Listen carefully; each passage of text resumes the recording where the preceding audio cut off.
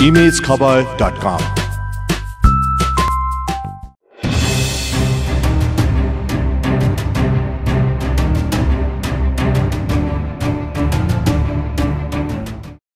चौन्न करोड रुपियाँको लागतमा झापाको बाह्रदशी गाउँपालिकामा खानेपानीका छवटा आयोजना सञ्चालनमा छन्।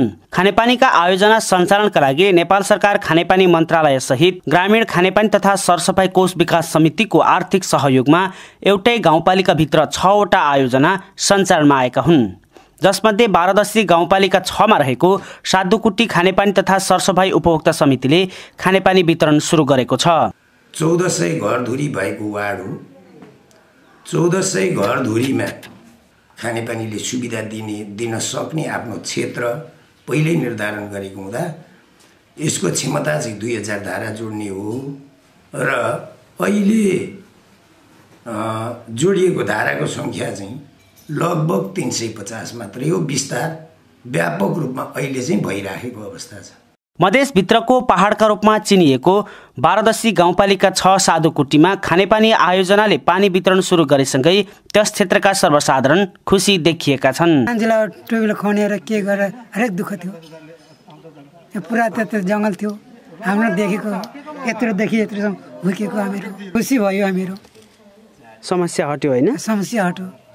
यहाँका अधिकांश महिलाहरूका ढाडमा हेर्ने हो भने त्यो घाग्रा डोकाको दाम अहिलेसम्म पनि छ।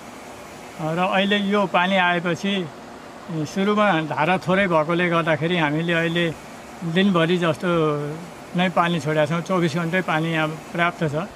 यहाँका मानिसहरूलाई जति बेला पनि अहिले पानीको समस्या छैन। अहिले बाह्रदशी गाउँपालिकाको वडा नम्बर पाँचमा तिनवटा वडा नम्बर दुई र तिनमा एक एकवटा खानेपानी आयोजना सञ्चालनमा छन् जसमध्ये घोडामारा नवपञ्चायन र राजगढ खानेपानी तथा सरसफाइ उपभोक्ता समितिले खानेपानी वितरणको तयारी थालेको छ। ट्याङ्की निर्माणको काम अन्तिम चरणमा पुगेकाले खानेपानी वितरणका लागि पाइप बिछ्याउने काम अघि बढाइएको बताइएको छ।